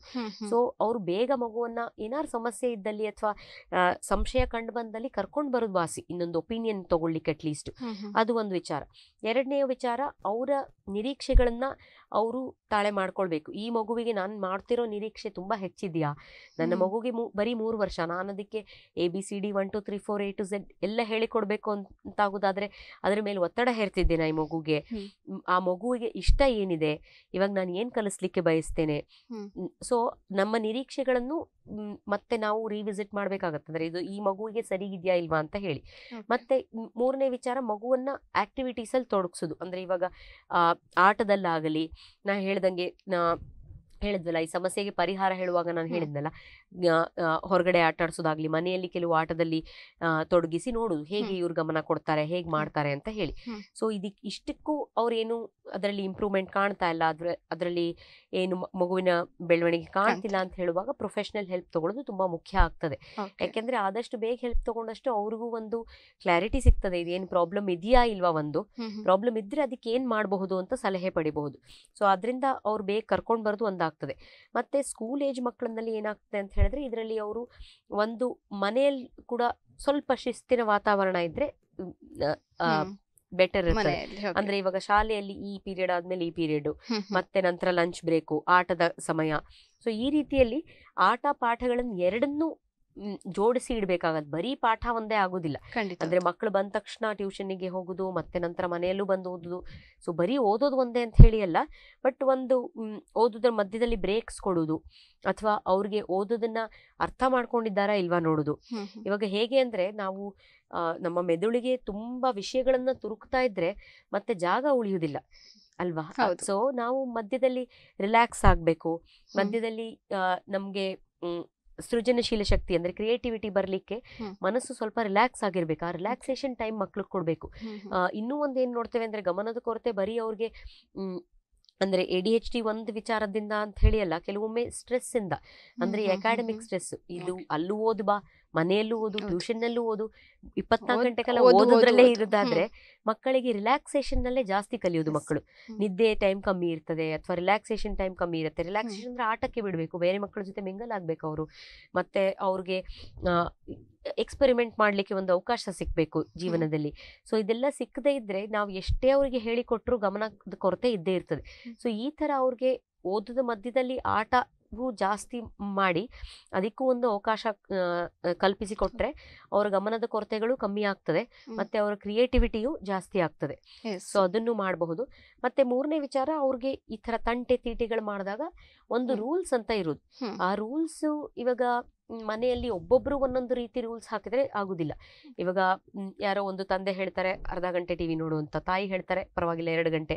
ಅಜ್ಜಿ ತಾತ ಹೇಳ್ತಾರೆ ಮೂರು ಗಂಟೆ. ಸೊ ಈ ರೀತಿ ಒಬ್ಬೊಬ್ರು ಒಂದೊಂದು ರೂಲ್ಸ್ ಹಾಕೋದಲ್ಲ ಮನೆಯವರೆಲ್ಲ ಒಂದು ಸಹಮತಕ್ಕೆ ಬಂದು ಎಲ್ಲರೂ ಸೇರಿ ಆಯ್ತು ಈ ಮಗುವಿಗೆ ಇಷ್ಟೊತ್ತಿಂದ ಇಷ್ಟೊತ್ತು ಅಪ್ಪ ಅಮ್ಮ ಹೇಳಿದ್ದಾರೆ ಅಂದ್ರೆ ನಾವು ಅದನ್ನ ಪಾಲಿಸ್ತೇವೆ. ಸೊ ಆ ತರ ಒಂದು ರೂಲ್ಸ್ ಅಂದ್ರೆ ಏನು ಕಡ್ಡಾಯವಾಗಿ ಅದಕ್ಕೆ ಪನಿಷ್ಮೆಂಟ್ ಇರ್ಬೇಕಂತ ಹೇಳಿ ಅಲ್ಲ ಬಟ್ ಕ್ಲಾರಿಟಿ ಇರಬೇಕು. ಇವಾಗ ನಾನು ಆರು ಗಂಟೆಯಿಂದ ಏಳು ಗಂಟೆ ಮಾತ್ರ ಟಿವಿ ಕೊಡೋದು ಅಂದ್ರೆ ಅಷ್ಟೇ ಕೊಡೋದು. ಮತ್ತೆ ಅದರಲ್ಲಿ ಏನ್ ನೋಡ್ತಿದ್ದಾನೆ ಯಾವ ರೀತಿ ಮಕ್ಕಳ ಮೇಲೆ ಅದು ಪರಿಣಾಮ ಬೀಳ್ತಿದೆ ಅದನ್ನೆಲ್ಲ ನೋಡುವಂಥದ್ದು. ಮತ್ತೆ ಹೊರಗಡೆ ಹೋಗುವಾಗ ಇವಾಗ ಎಲ್ಲರ ಅಂಗಡಿಗೆ ಕರ್ಕೊಂಡು ಹೋಗ್ತಾರೆ ಮುಂಚಿತವಾಗಿ ಪ್ಲಾನ್ ಮಾಡುದು. ಇವಾಗ ನಿನಗೆ ನಾವು ಈ ಅಂಗಡಿಗೆ ಈ ಕಾರಣಕ್ಕೆ ಹೋಗ್ತಿದ್ದೇವೆ ಹೋಗ್ತಾ ನಿನಗೆ ಏನ್ ತೆಕ್ಕೊಡ್ತೇವೆ ಅದನ್ನ ಕ್ಲಿಯರ್ ಆಗಿ ಹೇಳುದು. ಇಲ್ದಾದ್ರೆ ಇಂಥ ಮಕ್ಳು ಏನ್ ಮಾಡ್ತಾರೆ? ಅವ್ರಿಗೆ ಸಿಕ್ಕಿದ್ದೆಲ್ಲ ತಗೊಂಡು ಬರ್ತಾರೆ. ಅದು ಅಲ್ಲಿ ಜಗಳಕ್ಕೆ ಈಡಾಗ್ತದೆ. ಮತ್ತೆ ನಾವು ಮಾತಾಡುವಾಗ್ಲೂ ಅಷ್ಟೇ ಅವ್ರಿಗೆ ಕ್ಲಿಯರ್ ಆಗಿ ಇನ್ಸ್ಟ್ರಕ್ಷನ್ಸ್ ಕೊಡುದು. ನಿನ್ನಿಂದ ಇದು ಮಾಡ್ ಮಾಡಬಾರದು ಅನ್ನೋದಕ್ಕಿಂತ ಏನ್ ಮಾಡಬಹುದು ನೀನು? ಇದನ್ನ ಹೇಗೆ ಸರಿಪಡಿಸ್ಕೊಳ್ಬಹುದು? ನೀ ಏನೋ ಚೇಷ್ಟೆಯಲ್ಲಿ ಈಗೇನೋ ಚೆಲ್ಲಿದೆ ಅಥವಾ ಸಾಮಾನು ಬಿಸಾಡಿದೆ. ಸೊ ಅದನ್ನ ರೇಗಿ ಯಾಕೆ ಹಿಂಗ್ ಮಾಡಿದೆ ಅಂತ ಕೇಳೋ ಬದಲು ಆಯ್ತು ನೀನು ಮಾಡಿದ್ಯಲ್ಲ ಇವಾಗ ನೀನೇ ಸಾಮಾನನ್ನ ಒಳಗೆತ್ತಿಡು ನೀನೇ ಅದನ್ನ ಕ್ಲೀನ್ ಮಾಡು ಚೆಲ್ಲಿದ್ದನ್ನ. ಸೊ ಈ ರೀತಿಯಲ್ಲಿ ಅವ್ರಿಗೆ ಯಾವುದು ಕರೆಕ್ಟಿವ್ ಆಕ್ಷನ್ ಅಂತ ಹೇಳ್ತೇವೆ. ಅಂದ್ರೆ. ಮಾಡಿದ್ದ ಚೇಷ್ಟೆಯನ್ನ ಸರಿಪಡಿಸೋಕೆ ಒಂದು ಅವಕಾಶ ಕೊಡ್ಬೇಕಾಗ್ತದೆ. ಮತ್ತೆ ಸ್ಟ್ರಿಕ್ಟ್ ಆಗಿ ರೂಲ್ಸ್ ಅಂದ್ರೆ ಅದೇ ಇದೇ ತರ ರೂಲ್ಸ್ ಅಂದ್ರೆ ಅಂತ ಬರ್ದಿಡುದು ಅಂತ ಹೇಳಿ ಅಲ್ಲ. ಬಟ್ ಎಲ್ಲರಿಗೂ ಸಾಮಾನ್ಯವಾಗಿ ಏನೇನ್ ಮಾಡ್ಬೇಕು ಈ ಸಮಯದಲ್ಲಿ ಏನ್ ಮಾಡ್ಬೇಕು ಹೊರಗಡೆ ಹೋದಾಗ ಯಾವ ರೀತಿ ಅವರ ಬಿಹೇವಿಯರ್ ನಾವು ಎಕ್ಸ್ಪೆಕ್ಟ್ ಮಾಡ್ತೇವೆ. ಅವರನ್ನ ಹೋಗಿ ಗ್ರೀಟ್ ಮಾಡ್ಬೇಕು ಅವ್ರ ಮನೇಲಿ ತಿಂಡಿ ತೀರ್ಥ ಕೊಡ್ತಾರ ಅದನ್ನ ಸ್ವೀಕರಿಸಬೇಕು ಮತ್ತೆ ಏನೇನ್ ಮಾತಾಡಬಹುದು ಬಹುದು ಅವ್ರ ಹತ್ರ. ಈ ತರ ಎಲ್ಲ ಒಂದು ಅವ್ರಿಗೆ ಪ್ರಿಪೇರ್ ಮಾಡಿ ಹೊರಗಡೆ ಕರ್ಕೊಂಡು ಹೋಗೋದಾಗ್ಲಿ ಅಥವಾ ಶಾಪಿಂಗ್ ಹೋಗೋದಾಗ್ಲಿ ಮಾಡಿದ್ರೆ. ಹೆಚ್ಚಿನ ಈ ಕಲಹಗಳು ಕಮ್ಮಿ ಆಗ್ತದೆ. ಮತ್ತೆ ಅಡೋಲಸೆಂಟ್ಸ್ ಅಂದ್ರೆ. ಹದಿಹರೆಯದವರಲ್ಲಿ ಮೇನ್ಲಿ ನಾವು ನೋಡೋದಂದ್ರೆ ಅದೇನೆ ಅವ್ರಿಗೆ ಏನಾಗ್ತದೆ ಅಂದ್ರೆ ಅವರು ಫ್ರೆಂಡ್ಸ್ ಹತ್ರ ಜಾಸ್ತಿ ಸಂಪರ್ಕ ಬೆಳೀತದೆ ಆ ಆ ಸಮಯದಲ್ಲಿ. ಮನೆಯಲ್ಲಿ ಮನೆಯವ್ರಿಗೆ ಗೊತ್ತೇ ಇರುವುದಿಲ್ಲ ಅವ್ರು. ಏನ್ ಮಾಡ್ತಿದ್ದಾರೆ ಎಲ್ಲಿ ಹೋಗ್ತಿದ್ದಾರೆ. ಸೊ ಅವರ ಮೇಲೆ ಒಂದು ಮಾನಿಟರಿಂಗ್ ಅಂದ್ರೆ ಅವ್ರ ಮೇಲೆ ಯಾವಾಗ್ಲೂ ಅವ್ರ ಹಿಂದೆ ಕ್ಯಾಮ್ರಾ ಇಟ್ಕೊಂಡು ನೋಡೋದು ಅಂತ ಹೇಳಿ ಅಲ್ಲ ಬಟ್ ಅವರ ಜೊತೆ ಒಂದು ವಿಶ್ವಾಸ ಬೆಳೆದಿರ್ಬೇಕು. ಅಂದ್ರೆ ಚಿಕ್ಕಂದಿನಿಂದ ಒಂದು ವಿಶ್ವಾಸ ಬೆಳೆದಿದ್ರೆ ಈ ಮಕ್ಕಳು ತಾವೇ ಹೇಳ್ತಾರೆ ನಾವು ಯಾರ ಜೊತೆ ಹೋಗ್ತಿದ್ದೇವೆ ಏನೇನ್ ಕೆಲಸಗಳಲ್ಲಿ ತೊಡಗಿದ್ದೇವೆ? ಮತ್ತೆ ನಾವು ಏನಾರು ಈ ತರ ನಾನು ಹೇಳಿದ್ನಲ್ಲ ಇವರೆಲ್ಲ ರಿಸ್ಕ್ ಟೇಕಿಂಗ್ ಜಾಸ್ತಿ. ಯಾವುದೇ ರೀತಿ ರಿಸ್ಕ್ ತಗೊಳ್ಳೋದು ಜಾಸ್ತಿ ಇರ್ತದೆ. ಸೊ ಅವಾಗ ಈ ಪೇರೆಂಟ್ಸ್ಗೆ ಗೊತ್ತಿದ್ರೆ ಇವನೆಲ್ಲಿ ಹೋಗ್ತಿದ್ದಾನೆ ಯಾರ ಜೊತೆಗೆ ಹೋಗ್ತಿದ್ದಾನೆ ಏನೇನ್ ಕೆಲಸಗಳು ಮಾಡ್ತಿದ್ದಾನೆ ಅಂತ ಅವ್ರಿಗೆ ಬುದ್ಧಿವಾದ ಹೇಳೋದು ಅಥವಾ ಅವ್ರಿಗೆ ಡಿಸ್ಕಷನ್ ರೂಪದಲ್ಲಿ ಆಗುತ್ತೆ. ಇದರಲ್ಲಿ ಸ್ಟ್ರಿಕ್ಟ್ ಆಗಿ ರೂಲ್ಸ್ ರೂಪದಲ್ಲಿ ಮಕ್ಕಳ ತರ ಆಗುದಿಲ್ಲ. ಯಾಕೆಂದ್ರೆ ಅವರು ಇನ್ನು ಅವ್ರ ಬುದ್ಧಿ ಬೆಳವಣಿಗೆ ಆಗಿರ್ತದೆ ಮತ್ತೆ ಅವ್ರಿಗೆ ಜಾಸ್ತಿ ಲೋಕದ ಬಗ್ಗೆ ಜ್ಞಾನನೂ ಕೆಲವೊಮ್ಮೆ ಪೇರೆಂಟ್ಸ್ ಪೇರೆಂಟ್ಸ್ಗಿಂತಾನು ಹೆಚ್ಚು ಆಗಿರುತ್ತೆ ಅವ್ರಿಗೆ. ಸೊ ಆ ಸಂದರ್ಭದಲ್ಲಿ ಅವ್ರಿಗೆ ಡಿಸ್ಕಷನ್ ಮುಖಾಂತರ ಈಗ ನೀನು ಹೋಗಿ ಬೈಕ್ನ ಫಾಸ್ಟ್ ಆಗಿ ಓಡಿಸೋದ್ರಿಂದ ನಿನಗೆ ಏನ್ ಪರಿಣಾಮ ಬಿದ್ದಿರಬಹುದಾಗಿತ್ತು. ಇದನ್ನ ಯಾಕೆ ಹೀಗೆ ನಿಯಂತ್ರಿಸಬಾರ್ದು ಅಥವಾ ನೀನು ಫ್ರೆಂಡ್ಸ್ ಜೊತೆ ಎಲ್ಲೋ ಹೋಗಿದ್ದೆ ಯಾವುದೋ ಒಂದು ಸಿಗರೆಟ್ ಏನೋ ಒಂದು ಟ್ರೈ ಮಾಡಿದೆ. ಸೊ ಇದನ್ನ ತಪ್ಪಂತ ಹೇಳೋದಲ್ಲ ಅಥವಾ ನೀನು ಮಾಡಲೇಬಾರದು ಅಂತ ಹೇಳೋದಲ್ಲ ನೀನು ಯಾವ ಸಂದರ್ಭದಲ್ಲಿ ಈ ಥರ ಮಾಡಿದ್ದು ಇದನ್ನ ಹೇಗೆ ತಿದ್ದುಪಡಿಸ್ಕೊಳ್ಬಹುದು ಅಥವಾ ಇದರಿಂದ ನಿನಗೆ ಮುಂದೆ ಏನಾಗಬಹುದು ಈ ರೀತಿ ಒಂದು ವಿಚಾರ ವಿನಿಮಯದಿಂದ ಆಗಬಹುದು. ಆ ವಿಚಾರ ವಿನಿಮಯಕ್ಕೆ ಮೊದಲು ಅವರ ಸಂಬಂಧಗಳು ಸರಿಗಿರ್ಬೇಕಂದ್ರೆ. ಸಣ್ಣದರಿಂದ ಒಂದು ಸಂಬಂಧ ಬೆಳೆಸ್ಕೊಂಡು ಬಂದಿರಬೇಕು ಮನೆ ಮನೆಯವರು ಅಥವಾ ಪೇರೆಂಟ್ಸ್. ಆ ಸಂಬಂಧಗಳು ಸರಿಗಿರುವಾಗ ಅವರು ನಮ್ಮ ತಂದೆ ತಾಯಿಗೆ ಏನು ಒಂದು ಹಾನಿಕಾರಕವಾಗಿ ನಾವು ಮಾಡಬಾರದು ಅನ್ನೋ ದೃಷ್ಟಿಯಿಂದ ಮತ್ತೆ ಅವರ ಮಾತಿಗೆ ನಮ್ಮ ಹತ್ರ ಬೆಲೆ ಇದೆ ಅವರು ನಮ್ಮ ಒಳ್ಳೇದಕ್ಕೆ ಹೇಳ್ತಾರೆ ಅನ್ನೋ ಒಂದು ಮನೋಭಾವದಿಂದ ಹೇಳಿದ ಮಾತು ಕೇಳ್ತಾರೆ ಅವ್ರಿಗೆ ಹೊರಗಿನಿಂದ ಫೋರ್ಸಿಬಲ್ ಆಗಿ ನಿಯಂತ್ರಣ ಮಾಡ್ಲಿಕ್ಕೆ. ಹೋದ್ರೆ ಆಗುದಿಲ್ಲ. ಸೊ ಈ ರೀತಿಯಲ್ಲಿ ಅವ್ರ ಜೊತೆ ಡಿಸ್ಕಷನ್ಸ್ ಮಾಡೋದ್ರಿಂದ ಮತ್ತೆ ಅವರು ಓದಿನ ಬಗ್ಗೆ ಸಲಹೆಗಳು ಕೊಡೋದ್ರಿಂದ ಪಡೆಯೋದ್ರಿಂದ ಎಲ್ಲ ಮಾಡಬಹುದು. ಬಟ್. ಹೆಚ್ಚಿನ ಅಂಶ ಅದೇ ಯಾವುದೇ ಏಜ್ನಲ್ಲಿ ಈ ಪ್ರಾಬ್ಲಮ್ ಯು ಹ್ಯಾಂಡಲ್ ಮಾಡ್ಲಿಕ್ಕೆ ಆಗ್ಲಿಲ್ಲ ಕೈ ಮೀರಿ ಹೋಯ್ತು ಅಂತ ಹೇಳಿದ್ರೆ ಡೆಫಿನೆಟ್ಲಿ ಯಾರ್ದಾರು ಸಹಾಯ ಪಡೆಯೋದು ತುಂಬಾ ಮುಖ್ಯ ಆಗಿರ್ತದೆ. ಓಕೆ ಡಾಕ್ಟರ್ ನೀವು ಅವಾಗ ಮಾತಾಡುವಾಗ ನಿರೀಕ್ಷೆ ಬಗ್ಗೆ ಹೇಳಿದ್ರಿ. ಅಂದ್ರೆ ಜಾಸ್ತಿಯಾಗಿ ಕೆಲವೊಂದು ಪೇರೆಂಟ್ಸ್ಗೆ ನಿರೀಕ್ಷೆ ಇರ್ತದೆ ಅನ್ನುವಂಥದ್ದು. ಮತ್ತೆ ಇನ್ನೊಂದು ಈ ಟೈಮಲ್ಲಿ ನಾನು ಪ್ರಶ್ನೆನ ಕೇಳಬೇಕು. ಈಗ ಒಂದು ಪೇರೆಂಟ್ ಈಗ ಇನ್ನೊಂದು ಮಗುವಿನ ಜೊತೆ ಕಂಪೇರ್ ಮಾಡ್ತಾರೆ. ಸೊ ಆ ಮಗು ನೋಡಿ ಅಂದ್ರೆ ಪಕ್ಕದ ಮನೆಯ ಮಗು. ಸ್ವಲ್ಪ ಹೊತ್ತು ಕೂತ್ಕೊಳ್ತದೆ ಮಾತು ಕೇಳ್ತದೆ ಮನೆಯವ್ರ ಮಾತು ನೀನ್ ಕೇಳುವುದಿಲ್ಲ ಅಂತ ಹೇಳಿ. ಸೊ ಇದು ಕಂಪ್ಯಾರಿಸನ್ ಮಾಡುವುದು ಎಷ್ಟು ಸರಿ ಅಂತ ಡಾಕ್ಟರ್ ಯಾವಾಗ್ಲೂ ಕಂಪ್ಯಾರಿಸನ್ ಮಾಡೋದು ತುಂಬಾನೇ ತಪ್ಪಾಗ್ತದೆ. ಯಾಕೆಂದ್ರೆ ಎಲ್ಲರಿಗೂ ಒಂದು ವೈಯಕ್ತಿಕವಾದ ಒಂದು ವಿಚಾರಗಳಿರ್ತದೆ. ಎಲ್ಲಾರ್ ಎಲ್ಲಾರ್ದಿಗೂ ಒಂದು ವ್ಯಕ್ತಿತ್ವ ಅಂತ ಬೇರೆ ಬೇರೆ ವ್ಯಕ್ತಿತ್ವಗಳಿರ್ತದೆ. ಇರ್ತದೆ ಕೆಲವು ಮಕ್ಕಳು ತುಂಬಾ ಚೆನ್ನಾಗಿ ಎಲ್ಲರ ಹತ್ರ ಮಾತಾಡ್ತಾರೆ ಎಲ್ಲರ ಹತ್ರ ಬೆರೀತಾರೆ. ಕೆಲವು ಮಕ್ಕಳು ಅವರಲ್ಲಿ ಅವರೇ ಸಂತೋಷವನ್ನು ಪಡಿತಾರೆ. ಅಂದ್ರೆ ಒಬ್ಬರೇ ಕೂತ್ಕೊಂಡು ಕೂತ್ಕೊಂಡೇನೋ ಓದೋದ್ರಿಂದ ಆಟ ಆಡೋದ್ರಿಂದ ಅಥವಾ. ಬುಕ್ಸಿನಲ್ಲಿ. ಸೊ ತಪ್ಪು ಸರಿ ಇಲ್ಲ ಇದರಲ್ಲಿ. ಅವರ ಸ್ವಭಾವಕ್ಕೆ ಅನುಗುಣವಾಗಿ ಮೇನ್ ಏನಂದ್ರೆ ಅವರಿಗೆ ಅವರು ಹಾನಿ ಮಾಡ್ಕೊಳ್ಬಾರ್ದು ಇನ್ನೊಬ್ಬರಿಗೆ ಅವರು ಹಾನಿ ಮಾಡಬಾರ್ದು ಅಷ್ಟೇನೆ. ಆ- ವಿಚಾರವನ್ನು ಪೋಷಕರು ನೆನ್ಪಿಟ್ಕೊಳ್ಬೇಕು. ಮತ್ತೆ ಮಕ್ಕಳಲ್ಲಿ ನಮ್ಮ ಮಗುವಲ್ಲಿ ಏನು ಒಳ್ಳೆತನಗಳಿದೆ ಯಾವ ವಿಚಾರಗಳ ಮಗುವಿಗೆ ಇಷ್ಟ ಯಾವುದ್ರಲ್ಲಿ ಅಭಿವೃದ್ಧಿ ಹೊಂದಬಹುದು ಅಂತ ನಾವು ಯಾವತ್ತು ಹುಡುಕ್ಬೇಕೇ ಹೊರತು ಅವ್ರು ಮಾಡಿದ್ರು ನಮ್ಮ ಮಗು ಮಾಡ್ಲಿಲ್ಲ ಅಥವಾ ಅವ್ರಿಗೆ ಪ್ರೈಸ್ ಬರ್ತದೆ ನಮಗೆ ಬರ್ತಾ ಇಲ್ಲ. ಈ ವಿಚಾರದಲ್ಲಿ ಮಾಡಿದ್ರೆ ತುಂಬಾ ಕೀಳರಿಮೆ ಉಂಟಾಗ್ತದೆ. ಈ ಮಕ್ಕಳಿಗೆ ಅದೊಂದು ಸಮಸ್ಯೆ ಇರ್ತದೆ. ಅಂದ್ರೆ ಮ್, ಎಲ್ಲರೂ ಹೇಳಿ ಹೇಳಿ ನೀನ್ ಹಿಂಗಿರಬೇಕು ಹಂಗಿರ್ಬೇಕು. ಇವಾಗ ಇವ್ರಿಗೆ ಗಮನದ ಕೊರತೆ ಮತ್ತೆ ಚಂಚಲತೆ ಜಾಸ್ತಿ ಇರೋದ್ರಿಂದ ಎಲ್ಲರೂ ಹೇಳೋರೆ. ಸಿಕ್ಕದವರೆಲ್ಲ ಒಂದಿಷ್ಟು ಪಾಠ ಹೇಳ್ತಾರೆ ಈ ಮಕ್ಕಳಿಗೆ ನೀನ್ ಹಿಂಗಿರಬಾರ್ದು ಹಿಂಗಿರ್ಬೇಕಿತ್ತು. ನೀನ್ ಅಪ್ಪ ಅಮ್ಮನ ಜೊತೆ ಹಿಂಗಿರಬಾರ್ದಿತ್ತು ಅಥವಾ ಶಾಲೆಯಲ್ಲಿ ಹೀಗಿರ್ಬಾರ್ದಿತ್ತು. ಸೊ ಈ ತರ ಎಲ್ಲರೂ ರೂಲ್ಸ್ ಹಾಕೋದ್ರಿಂದ ಮಕ್ಕಳಿಗೆ ಹಾಗಿದ್ರೆ ನಾನು ಮಾಡ್ತಿರೋದು ಏನೂ ತಪ್ ಸರಿನೇ ಇಲ್ವಾ? ನನಗೆ ಏನ್ ಬೆಲೆ? ನನ್ನ ವ್ಯಕ್ತಿತ್ವಕ್ಕೆ. ಏನ್ ಬೆಲೆ? ಅಥವಾ ನಾನು ಅಂಥ ಒಂದು ಏನು ಕೆಟ್ಟವನ ಹೌದು. ಅಂತ ಅವರಿಗೆ ಯೋಚನೆ ಮಾಡ್ತಾರೆ. ಸೊ ಆ ರೀತಿಯಲ್ಲಿ ಆ ತರ ನಾವು ಅವ್ರದ್ದು ಏನು ಸೆಲ್ಫ್ ಎಸ್ಟೀಮ್ ಅಂತ ಹೇಳ್ತೇವೆ. ಅದನ್ನ ಕಮ್ಮಿ ಮಾಡ್ದೇನೆ ಅವರಲ್ಲಿರೋ ಗುಣಗಳನ್ನ ನೋಡಿ ಅದನ್ನ ಅಪ್ರಿಶಿಯೇಟ್ ಮಾಡ್ತಾ ಹೋದ್ರೆ. ಕೆಲವುದು ಅವರು ನಮ್ಮ ವಿಚಾರಗಳಿಗೂ ಕೆಲವುದಕ್ಕೆ ಒಪ್ತಾರೆ ಮತ್ತೆ ಆ ದಾರಿಯಲ್ಲೂ ಬರ್ತಾರೆ. ಓಕೆ ಡಾಕ್ಟರ್ ಈಗ ಎ ಡಿ ಎಚ್ ಡಿ ಇರುವವರಿಗೆ ಹಾಸ್ಪಿಟ್ಲಿಗೆ ಬರ್ತಾರೆ. ಸೊ ನೀವೀಗ ಟ್ರೀಟ್ಮೆಂಟ್ ಬಗ್ಗೆ ನೀವು ಮಾತಾಡಿದ್ರಿ. ಸೊ ಅದಕ್ಕಿಂತ ಮುಂಚೆ ನೀವು ಅಂದ್ರೆ ಏನೆಲ್ಲ ಟೆಸ್ಟ್ ಮಾಡ್ತೀರಿ? ಅವ್ರ ಜೊತೆ ಕೂತ್ಕೊಂಡು ಮಾತಾಡ್ತೀರಾ? ಸೊ ಎಷ್ಟು ಜನ ಇರ್ತಾರೆ ಆ ಟೈಮಲ್ಲಿ ಅಂದ್ರೆ ಪೇರೆಂಟ್ಸ್ ಇರ್ಬೇಕಾಗ್ತದ ಮಕ್ಕಳ ಜೊತೆ. ಅವರು ಮಕ್ಕಳನ್ನೇ ಕೂರಿಸ್ಕೊಂಡು ಮಾತಾಡ್ತೀರಾ? ಯಾವ ರೀತಿಯಲ್ಲಿ ಇರ್ತದೆ ಪ್ರೊಸೀಜರ್ ಏನು? ಯೂಶಲಿ ಅಂದ್ರೆ ನಾವು ತುಂಬಾ ಸಣ್ಣ ಮಕ್ಕಳನ್ನು ನೋಡುವಾಗ ಐದು ವರ್ಷಕ್ಕೆ ವರ್ಷಕ್ಕೆ ಕೆಳಗಿನ ಮಕ್ಕಳನ್ನು ನೋಡುವಾಗ ಮಕ್ಕಳನ್ನ ಪೋಷಕರ ಜೊತೆಗೆ ನೋಡ್ತೇವೆ. ಅಂದ್ರೆ ಅವರು ಹೇಗೆ ಇಂಟ್ರಾಕ್ಟ್ ಮಾಡ್ತಿದ್ದಾರೆ ಪೋಷಕರ ಜೊತೆ ನಮ್ಮ ಜೊತೆ ಹೇಗೆ ಇಂಟ್ರಾಕ್ಟ್ ಮಾಡ್ತಾರೆ ಮಕ್ಕಳು ಮತ್ತೆ ನಾವು ನೋಡುವಾಗ ಈ ಚಂಚಲತೆ ಗಮನದ ಕೊರತೆ ಅಥವಾ ದುಡುಕ್ತನ ಏನಾರು ಕಂಡು ಬಡ ಬರುತ್ತಾ ನೋಡ್ತೇವೆ. ನೆಕ್ಸ್ಟ್ ಇನ್ನೊಂದು ಸ್ವಲ್ಪ ದೊಡ್ಡ ಮಕ್ಕಳಾದ್ರೆ ಫಸ್ಟ್ ಅವ್ರ ಹತ್ರನೇ ಮಾತಾಡ್ತೇವೆ. ಏನೇನ್ ಕಷ್ಟಗಳಾಗ್ತದೆ? ಮಕ್ಕಳು ಹೆಚ್ಚಿನ ಅಂಶ ಹೇಳ್ತಾರೆ ನಮ್ಗೆ. ಇವಾಗ ನಮ್ಗೆ ನಾವು ಓದುವಾಗ ನಮಗೆ ಗೊತ್ತೇ ಆಗೋದಿಲ್ಲ ನಾನು ಮರ್ತು ಹೋಗ್ತೇನೆ ಎಲ್ಲಾದನ್ನು. ನಾನು ಸಿಲ್ಲಿ ಮಿಸ್ಟೇಕ್ಸ್ ಮಾಡ್ತೇನೆ ನಂಗೆಲ್ಲ ಗೊತ್ತಿರ್ತದೆ ಎಕ್ಸಾಮ್ಗೆ ಹೋಗಿ ಸರಿಗೆ ಕಾಪಿ ಮಾಡೋದಿಲ್ಲ ಸಿಲ್ಲಿ ಮಿಸ್ಟೇಕ್ಸ್ ಮಾಡ್ತೇನೆ. ಮತ್ತೆ ಮನೆಯಲ್ಲಿ ಎಲ್ಲಾರ ಕೈಲಿ ಅಂದ್ರೆ ಅದು ನಾವು ಕೇಳುವಾಗ ಹೇಳ್ತಾರೆ. ಅಂದ್ರೆ ಮನೆಯಲ್ಲಿ ಏನು ಸಮಸ್ಯೆಗಳಾಗ್ತದೆ ಅಂತ ಕೇಳಿದ್ರೆ ಎಲ್ಲರೂ ನಂಗೆ ಬೈತಾರೆ ನೀನು ಅದು ಸರಿಯಾಗಿ ಸಾಮಾನು ಇಟ್ಟಿದ್ದ ಜಾಗದಲ್ಲಿ ಇಡುದಿಲ್ಲ ಅಥವಾ ಆಚೆ ಈಚೆ ಬಿಸಾಡ್ತಿರ್ತೀಯ? ಸೊ ಅದಕ್ಕೆ ತುಂಬಾ ಬೈಗುಳ ಬರ್ತದೆ. ಸೊ ಮಕ್ಕಳು ಅವರ ಅನುಭವಗಳನ್ನು ಹೇಳ್ತಾರೆ. ಮತ್ತೆ ಅದ ನಂತರ ಪೇರೆಂಟ್ಸ್ನು ಕೇಳ್ತೇವೆ. ಅಂದ್ರೆ ಯಾವ ರೀತಿಯಲ್ಲಿ ಈ ತೊಂದರೆಗಳಿದೆ? ಅದೇ ನಾನು ಹೇಳ್ದಂಗೆ ರೋಗ ಲಕ್ಷಣಗಳ ಬಗ್ಗೆ ಎಲ್ಲ ಕೇಳ್ತೇವೆ. ಒಂದು ಇಂಟರ್ವ್ಯೂ. ನೆಕ್ಸ್ಟ್ ಅದಾದ್ಮೇಲೆ ಅಸೆಸ್ಮೆಂಟ್. ಅಸೆಸ್ಮೆಂಟ್ ಅಂತ ಹೇಳಿದ್ರೆ ಯೂಶಲಿ ಒಂದು ಒಂದು ಪಟ್ಟಿ ಇರ್ತದೆ. ಅಂದ್ರೆ ತುಂಬಾ ಆ, ಉದಾಹರಣೆಗೆ ಇವಾಗ ಮಗು ಯಾವಾಗಲೂ ಓಡಾಡ್ತಾ ಇರ್ತದೆ. ಇದು ನಮ್ ನಮ್ಮ ಮಗುವಿಗೆ ಸರಿ ತಪ್ಪು ಅಥವಾ ಯಾವಾಗ್ಲೂ ಹೀಗೆ ಆಗ್ತದೆ ಕೆಲವೊಮ್ಮೆ ಹೀಗಾಗ್ತದೆ ಈ ರೀತಿ ರೇಟಿಂಗ್ ಸ್ಕೇಲ್ಸ್ ಅಂತ ಇರ್ತದೆ. ಒಂದು ಹತ್ತಿಪ್ಪತ್ತು ಪ್ರಶ್ನಾವಳಿ ಕ್ವೆಶನ್. ಅದನ್ನು ಆನ್ಸರ್ ಮಾಡ್ಲಿಕ್ಕೆ ಹೇಳ್ತೇವೆ ಕೆಲವೊಮ್ಮೆ. ಪೇರೆಂಟ್ಸ್ಗೆ. ಕೆಲವೊಮ್ಮೆ ಮಕ್- ಮಕ್ಕಳಿಗೂ ಕೊಡ್ತೇವೆ. ಅಂದ್ರೆ ಇದು ಹದಿಹರೆಯದವ್ರಿಗೆ ಅವರು ಆನ್ಸರ್ ಮಾಡ್ತಾರೆ. ಅಂದ್ರೆ ನಂಗೆ ಪ್ಲಾನ್ ಮಾಡ್ಲಿಕ್ಕೆ ಕಷ್ಟ ಆಗ್ತದೆ ನಂಗೆ ಪ್ರಯೋರಿಟೈಸ್ ಮಾಡ್ಲಿಕ್ಕೆ ಕಷ್ಟ ಆಗ್ತದೆ. ನನ್ಗೆ ಯಾವ್ದಾದ್ರು ಒಂದು ತುಂಬಾ ಕಷ್ಟದ ಕೆಲಸ ಇರುವಾಗ ನನ್ಗೆ ತಲೆ ಬೇರೆ ಎಲ್ಲೋ ಓಡ್ತದೆ. ಈ ರೀತಿ ಪ್ರಶ್ನೆಗಳಿರ್ತದೆ. ಸೊ ಪ್ರಶ್ನಾವಳಿಯನ್ನ ಮಕ್ಕಳು ಆನ್ಸರ್ ಮಾಡ್ತಾರೆ ದೊಡ್ಡ ಅಂದ್ರೆ ಪೋಷಕರು ಆನ್ಸರ್ ಮಾಡ್ತಾರೆ. Okay. ಮತ್ತೆ ಕೆಲವೊಮ್ಮೆ ನಾವು ಟೀಚರ್ಸ್ಗೂ ಕೊಡ್ತೇವೆ. ಟೀಚರ್ಸ್ ರೇಟಿಂಗ್ ಫಾರ್ಮ್ ಅಂತ ಇರ್ತದೆ. ಅಂದ್ರೆ ಯಾಕಂದ್ರೆ ಇದು ಮನೆಯ ವಾತಾವರಣದ ಬಗ್ಗೆ ಮನೆಯಲ್ಲಿ ಆಗೋ ಸಮಸ್ಯೆಗಳ ಬಗ್ಗೆ ಮಾತ್ರ ನಮ್ಗೆ ಇದರಲ್ಲಿ ಗೊತ್ತಾಗೋದು. ಶಾಲೆಯಲ್ಲಿ ಏನಾಗ್ತದೆ ಅಂತ ನೋಡ್ಬೇಕಾಗ್ತದೆ. ಯಾಕಂದ್ರೆ ಎ ಡಿ ಎಚ್ ಡಿ ಅನ್ನೋ ಸಮಸ್ಯೆ ಇರುವಾಗ ಎಲ್ಲಾ ದೃಷ್ಟಿಗಳನ್ನು ನೋಡ್ಬೇಕಾಗತ್ತೆ. ಬರೀ. ಬರೀ ಮನೆಯಲ್ಲಿ ಮಾತ್ರ ಪ್ರಾಬ್ಲಮ್ ಆಗ್ತಾ ಇದ್ರೆ ಶಾಲೆಯಲ್ಲಿ ಪ್ರಾಬ್ಲಮ್ ಆಗದೆ ಇದ್ರೆ ಇದು ಮನೆಯ ವಾತಾವರಣದಿಂದ ಏನೋ ಆಗ್ತಿರ್ಬಹುದು ಅಂತ ಅಂದಾಜು ಮಾಡ್ಬೋದು. ಇಲ್ಲಾಂದ್ರೆ. ಬರೀ ಶಾಲೆಯಲ್ಲಾಗಿ ಮನೇಲಿ ಆಗದೆ ಇದ್ರೆ. ಶಾಲೆಯ ವಾತಾವರಣ ಏನಾರು ಬದಲಾಯಿಸಬೇಕಾ? ಆ ತರ ನೋಡ್ಬೇಕಾಗತ್ತೆ. ಸೊ ಕೆಲವೊಮ್ಮೆ ಟೀಚರ್ಸ್ ರಿಪೋರ್ಟ್ ಫಾರ್ಮ್ ಅಂತ ಇರ್ತದೆ. ಅಂದ್ರೆ ಅವ್ರಿಗೂ ಈ ತರ ಒಂದು ಪ್ರಶ್ನಾವಳಿ ಕಳಿಸಿ ಈ ತರ ಮಗು ನಮ್ಮ ಹತ್ರ.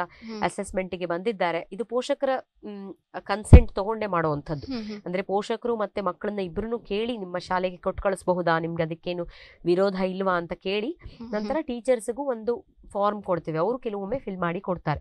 ಅಂದ್ರೆ ಈ ಮಗು ಕಲಿಕೆ ಹೇಗಿದೆ? ಮಗು ಬೇರೆ ಮಕ್ಕಳ ಜೊತೆ ಹೇಗೆ ಇಂಟ್ರಾಕ್ಟ್ ಮಾಡ್ತಾನೆ? ಇಲ್ಲೇನಾರು ಶಾಲೆಯಲ್ಲಿ ಏನಾರು ಭಾವನಾತ್ಮಕ ಸಮಸ್ಯೆಗಳು ನಿಮಗೆ ಕಂಡು ಬಂದಿದ್ಯಾ.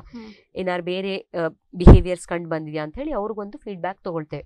ಸೊ ಈ ಮೂರೂ ದೃಷ್ಟಿಕೋನಗಳನ್ನು ತಗೊಂಡಾದ ಮೇಲೆ ನಾವು ಎ ಡಿ ಹೆಚ್ ಡಿ ಅಂತ ಒಂದು ಡಯಾಗ್ನೋಸಿಸ್ ಹ್ಮ್. ಮತ್ತೆ ಕೆಲವೊಮ್ಮೆ ಅದರಲ್ಲೂ ಡೌಟ್ ಇದ್ರೆ ಓ ಇದು ನಾರ್ಮಲ್ ಇರಬಹುದು. ಸ್ವಲ್ಪ ಸಣ್ಣ ಬದಲಾವಣೆಗಳು ಮಾಡ್ಕೊಂಡ್ರೆ ಮನೆಯಲ್ಲಿ ಅಥವಾ ಶಾಲೆಯಲ್ಲಿ ಈ ಗಮನದ ಕೊರತೆ ಅಥವಾ ಚಂಚಲತೆ ಕಮ್ಮಿ ಆಗ್ಬೋದು ಅಂದಾಗ ಆ ಬದಲಾವಣೆಗಳು ಮಾಡಕ್ ಹೇಳ್ತೇವೆ ಫಸ್ಟ್. ಅದಾದ್ಮೇಲೆ ಓಕೆ ಇದು ಒಂದು ಒಂದ್ ತಿಂಗಳು ಬಿಟ್ಟು ಬನ್ನಿ.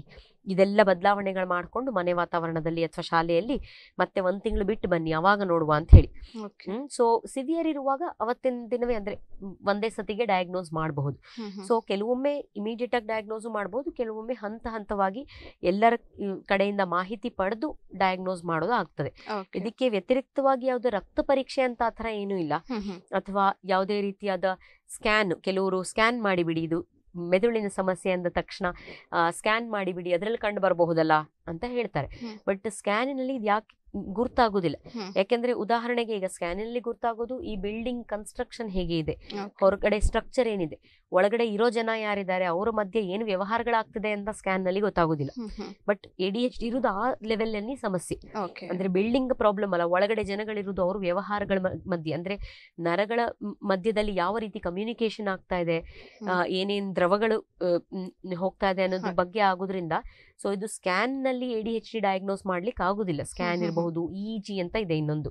ಅಂದ್ರೆ ಮೆದುಳಿನ ಎಲೆಕ್ಟ್ರಿಕಲ್ ಆಕ್ಟಿವಿಟಿ ಏನಿದೆ ಅದನ್ನ ತಪಾಸಣೆ ಮಾಡುವಂತದ್ದು. ಸೊ ಅದರಲ್ಲೂ A D H D diagnose ಮಾಡ್ಲಿಕ್ಕೆ ಆಗುದಿಲ್ಲ. ಸೊ ಮೇನ್ಲಿ ಈ ಪೇರೆಂಟ್ಸ್ ಏನ್ ಹೇಳ್ತಾರೆ ಟೀಚರ್ಸ್ ಏನ್ ಹೇಳ್ತಾರೆ ಮಗು ಏನ್ ಹೇಳ್ತದೆ ಅವರ ರಿಪೋರ್ಟ್ ಮೇರೆಗೆ ಮತ್ತೆ ನಮ್ಮ ಅಂದ್ರೆ ಕ್ಲಿನಿಷಿಯನ್ ಯಾವ ರೀತಿ ಅವರ ಎಕ್ಸ್ಪೀರಿಯನ್ಸ್ ಮೇರೆಗೆ ಮತ್ತೆ ಅವರು ಈ ಮಕ್ಕಳನ್ನ ನೋಡಿದ ಮೇರೆಗೆ ಡಯಾಗ್ನೋಸ್ ಮಾಡುವಂಥದ್ದು ಇದನ್ನ. ಓಕೆ ಡಾಕ್ಟರ್ ಹಾಗೆ ಇಷ್ಟೊತ್ತು ನಾವು ಇದ್ರ ಬಗ್ಗೆ ನಾವು ಮಾತಾಡಿದ್ವಿ ಅಂತ ಚಂಚಲತೆ ಮತ್ತೆ ಗಮನದ ಕೊರತೆ. ಇದಕ್ಕೆ ಸಂಬಂಧಪಟ್ಟ ಸಂಬಂಧಪಟ್ಟಂತೆ ಕೆಲವು ಏನೋ ಮಿತ್ಸ್ ಏನಾದರೂ ಉಂಟಾ ಅಂತ ಡಾಕ್ಟರ್ ಆ, ಇವಾಗ ತುಂಬಾ ಜನ ಕೇಳ್ತಾರೆ ಸಕ್ಕರೆ ತಿನ್ಸ್ಬಹುದಾ ಮಕ್ಕಳಿಗೆ ಸಣ್ಣ. ಮಕ್ಕಳಿಗೆ ಅಂದ್ರೆ ಸಕ್ಕರೆ ತಿನ್ಸದೇ ಇದ್ದಾಗ ನಮ್ಗೆ ತುಂಬಾ ಜಾಸ್ತಿ ಪರಿಣಾಮ ಬೀಳ್ತದೆ ಅಂತ ಹೇಳಿ. ಆ ತರ ಸಂಶೋಧನೆಗಳಲ್ಲಿ ಆ ತರ ಏನು ಬಂದಿಲ್ಲ. ಅಂದ್ರೆ. ಸಕ್ಕರೆಗೂ ಈ ಎ ಡಿ ಎಚ್ ಡಿಗೂ ಏನು ಸಂಬಂಧ ಇಲ್ಲ.